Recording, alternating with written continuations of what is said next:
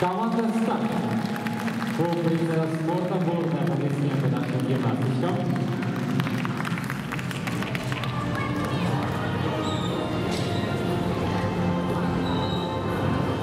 Также поздравляю наших спортсменов с окончанием учебного года и под аплодисменты приступаем к церемонии награждения.